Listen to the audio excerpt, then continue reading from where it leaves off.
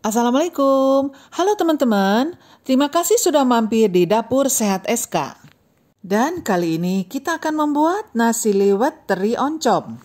Bagaimana cara pembuatannya? Yuk langsung saja kita menuju ke dapur.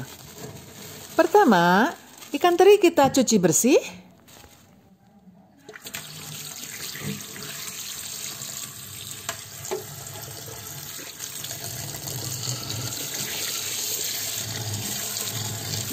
Setelah dicuci bersih, langsung saja kita goreng ya teman-teman.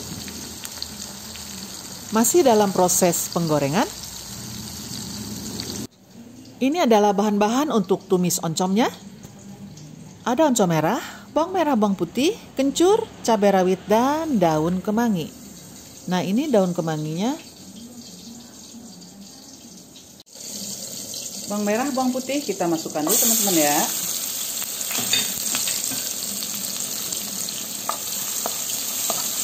Biarkan sampai layu dan wangi.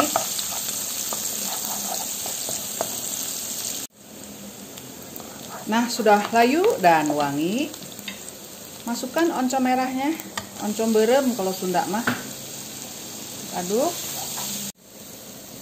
Airnya satu sendok makan saja. Fungsinya untuk mematangkan oncomnya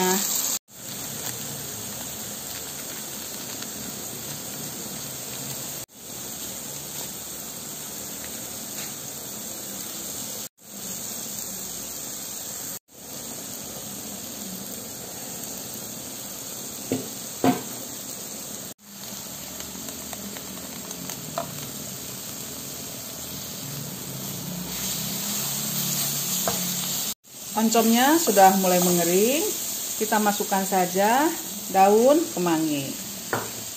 Aduk sampai dia layu, lalu angkat saja karena ini sudah matang.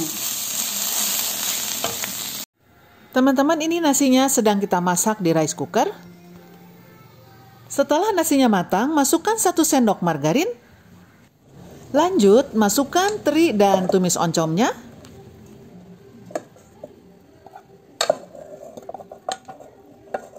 Dan aduk-aduk saja agar semuanya tercampur merata. Teman-teman, ini enak sekali, gurih banget. Nyesel kalau nggak nyoba. Nasi liwet terinya sudah jadi. Teman-teman kalau mau dimakan langsung boleh, tetapi kalau mau didiamkan juga silakan simpan lagi di rice cooker ya. Tapi ininya di teken ya, di rentet-rentet kalau Sunda tuh apa ya? Ini, misalkan begini ya taruh di rice cooker tapi kalau mau dimakan juga silahkan karena ini kan sudah matang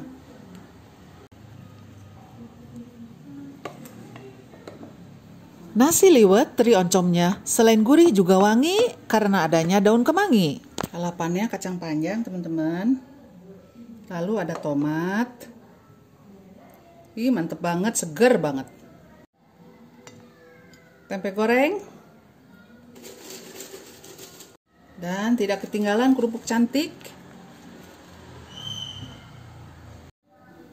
Teman-teman, inilah dia nasi liwet teri oncom yang baru saja kita buat.